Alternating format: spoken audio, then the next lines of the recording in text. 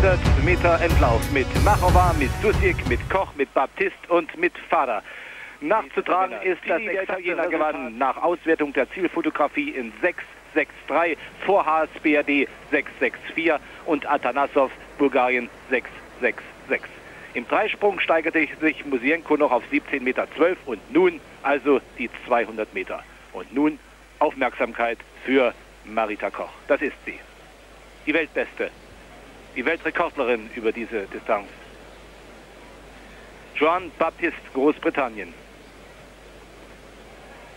Der waren vier.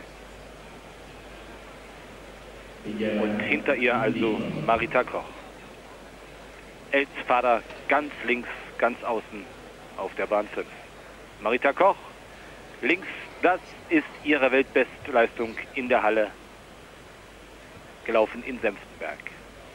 Hier war sie vor einer Woche 100 langsamer. Marita ist gut genug, wieder in die Nähe dieser Marke zu laufen.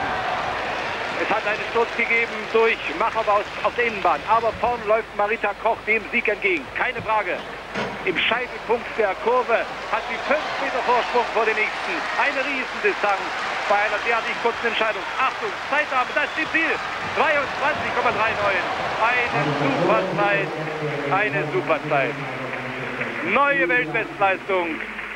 Ich hätte fast drauf wetten können. Marita Koch ist so gut, Sie lief verhalten im Semifinale.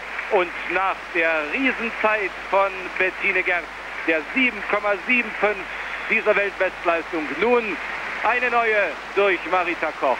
Die Supersprinterin aus Rostock. Genießen wir diesen Lauf in der Zeitlupe. Im Prinzip hat sie hier schon gewonnen. Nach 10 Metern liegt sie schon deutlich vorn. Innen der Sturz rechts. Marisa Machova. Schade. Zwischendurch nur den Beifall erklären, Tränenhaus über 2,27. Wir konzentrieren uns auf dieses Rennen.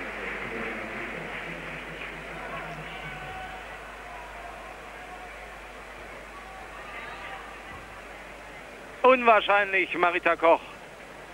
Sie war drei Wochen verletzt nach ihren 708 über 60 Meter in Senftenberg. Nun ist sie wieder Superklasse. Da ist sie im Ziel mit neuer Weltbestleistung die zweite Goldmedaille am heutigen Tag für die DDR. Die UdSSR hat drei gewonnen, denn auch das 5 Kilometer Gehen ging an die UdSSR. Ja, ein wunderbarer Auftakt des heutigen Tages.